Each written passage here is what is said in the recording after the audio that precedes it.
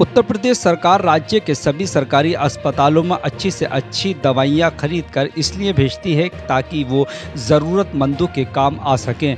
लेकिन इन दवाओं को, मरीजों को देने के बजाय उधर इधर फेंका जा रहा है।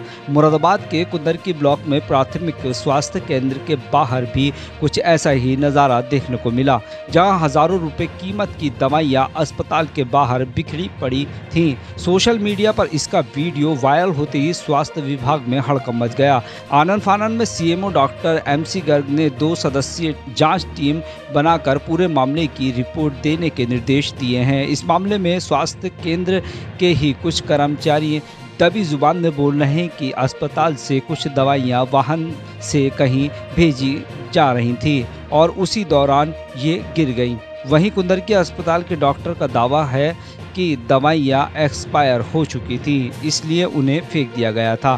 फ़िलहाल जाँच के बाद ही सच सामने आएगा कि क्या दवाइयाँ कहीं भेजी जा रही थी या उस दौरान गिरी थी या फिर ये दवाइयाँ एक्सपायर हो चुकी थी।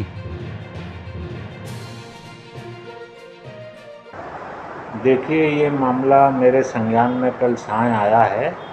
और इसकी जाँच कर आपको अवगत कराया जाएगा पूरा प्रकरण क्या है और दोषियों के विरुद्ध कार्रवाई की जाएगी। इसमें से किसी से कुछ रिपोर्ट तलब की गई तो इसको कमेटी बनाई किस तरीके हाँ डॉक्टर दीपक वर्मा इसकी जाँच करेंगे और अवगत कराएँगे।